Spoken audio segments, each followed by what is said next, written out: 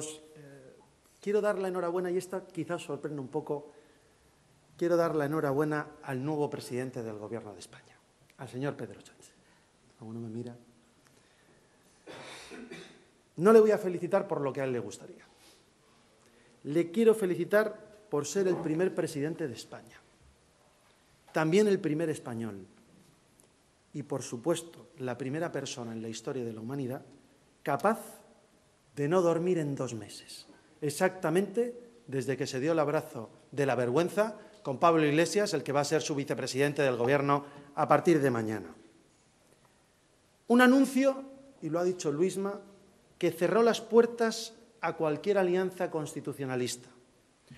Un anuncio que cerró las puertas a cualquier proyecto que pusiera al frente de España a personas con sentido común y, sobre todo, con sentido de Estado.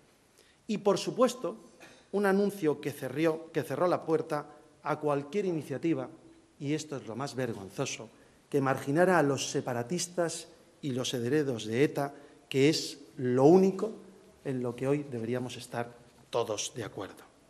Pero también quiero felicitar a Pedro Sánchez por un segundo motivo.